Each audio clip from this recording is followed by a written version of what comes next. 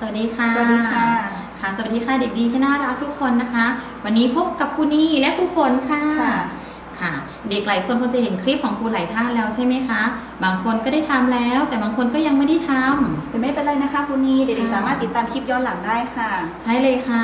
ค่ะมันอยู่ที่ผ่านมาครูฝนทำอยู่ที่บ้านทำเมนูอะไรบ้างคะผัดผักกับไข่เจียวค่ะคุณนีอ๋อค่ะ ส่วนคนนี้นะคะคนนี้ก็ทำค่ะ แต่จะเป็นเมนูไข่ต้มโอ้ค่ะค่ะ สำหรับไข่ต้มนะคะ เด็กสามารถทำที่บ้านก็ได้นะคะ เรามาดูกันนะคะว่าไข่ลักษณะนามคืออะไรคะครูฝนลักษณะหน้าของไข่คือฟองค่ะใช่เลยค่ะ มีลูกทรงเป็นยังไงเอ่ยเป็นโมลีค่ะณใช่เลยค่ะ แล้วภาษาอังกฤษล่ะคะ E G G X ไข่เก่ค่ะงมากเลยค่ะ แล้ววันนี้นะคะคุณนี้ก็มีไข่ต้มมาให้เด็กดูนะคะ ไข่ต้มเป็นเมนูที่ง่าย ๆ ที่เด็กสามารถทำร่วมกับคุณพ่อคุณแม่ได้นะคะและที่สำคัญวันนี้จะเป็นวิทยาศาสตร์เกี่ยวกับการทดลองเรื่องข วดดูดไข่ค่ะ โดยจะใช้ไข่ต้มนะคะ เรามาเรียนรู้อุปกรณ์กันดีกว่านะคะ เริ่มจากหม้อเนี่ยประสงค์ค่ะ น้ำเปล่าครับทีหรือถ้าที่บ้านเด็กๆไม่มีหม้ออเนกประสงค์เนี่ยเด็กๆสามารถใช้หม้ออะไรก็ได้นะคะ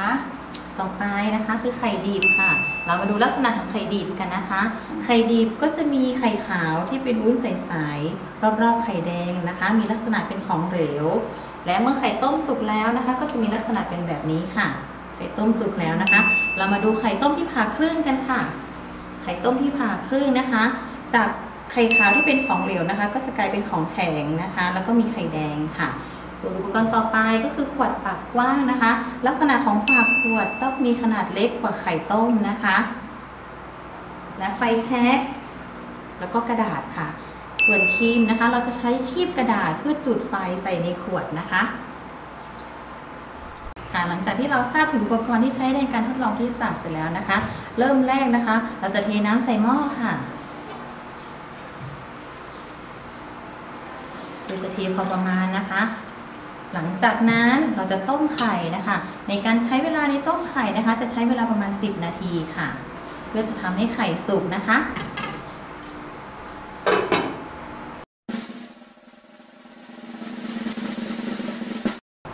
10นาทีผ่านไปนะคะ ทุกคนคะเรามาดูซิว่าไข่ต้มของเราสุกกันหรือยังคะค่ะโอ้โหคุณนีทำไมมีไอ้น้ำเต็มไปหมดเลยคะค่ะทุกคนรู้ไหมคะไอ้น้ำเกิดจากอะไรเอ่ยไอ้น้ำก็เกิดจากน้ำได้รับความร้อนนะคะค่ะแล้วเหยกลายเป็นไอลอยตัวขึ้นบนท้องฟ้าจับตัวเป็นก้อนเมฆค่ะ แล้วกลั่นลงมาเป็นเม็ดฝนหยดน้อยนี่เองนะคะอ๋อตอนวันนี้นี้เราเรียนเรื่องฝนจ๋าใช่ใช่ไหมเลยค่ะ ตอนนี้เราจะตักไข่ออกมาผึ่งให้เย็นนะคะค่ะ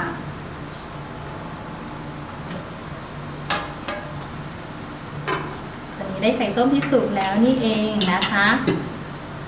ถามว่าได้ไข่ต้มที่สุกแล้วนะคะ เดี๋ยวครูฝนช่วยคนนี้แกะไข่หน่อยนะคะได้ค่ะค่ะ ไข่ที่เราต้มสุกแล้วนะคะ เด็กสามารถแกะได้ด้วยตนเองนะคะ เพื่อเป็นการฝึกพัฒนาการกล้ามเนื้อเม็ดเล็กของเรานี่เองนะคะ ถ้าเราช่วยกันแกะหรือว่าฝึกแกะเป็นประจำนะคะ เราจะมีกล้ามเนื้อเม็ดเล็กที่แข็งแรงนี่เองนะคะ ตอนนี้ครูฝนก็ช่วยกันแกะไข่จะเสร็จแล้วนะคะ พยายามเลยค่ะคุณนีโอ้โห ดูสิคะเริ่มตแล้อวนค่ะนี้เริ่มจะเสร็จแล้วนะคะเปลือกไข่นะคะ ที่เราแกะเราต้องเก็บไว้ให้เรียบร้อยนะคะ เราจะไม่ทิ้งกระจัดกระจายเรี่ยราดไปนะคะ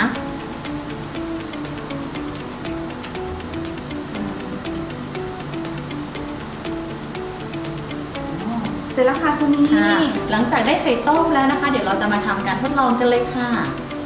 ค่ะ เราจะเริ่มทำการทดลองแล้วนะคะ โดยการจุดไฟที่กระดาษนะคะคุณฝนช่วยมาดีจุดหน่อยนะคะได้ค่ะค่ะในการจุดไฟที่กระดาษนี้นะคะ เด็กควรช่วยให้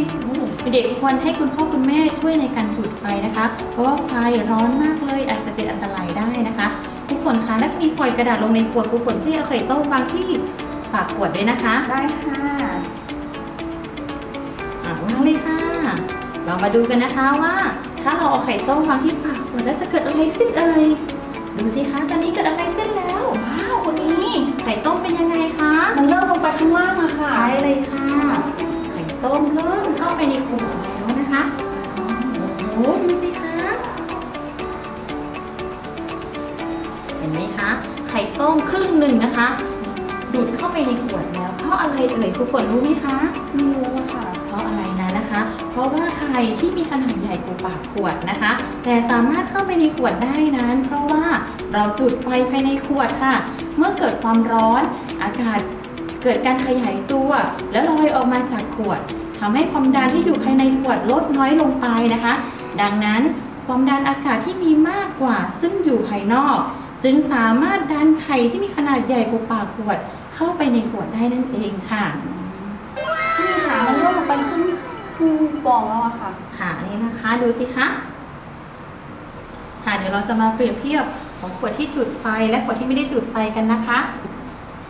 ทุกคนดูสิคะไข่เป็นยังไงเอ่ยไข่อยู่ที่เดิมไหมคะคุณใช่เลยค่ะสำหรับขวดที่จุดไฟล่ะคะไข่ลงไปครึ่งฟองใช่เลยค่ะ ตอนนี้เราสามารถเปรียบเทียบได้ชัดเจนมากขึ้นแล้วนะคะ การทดลองวิทยาศาสตร์ในครั้งนี้ ช่วยส่งเสริมทักษะการสังเกต การเปรียบเทียบเป็นอย่างดี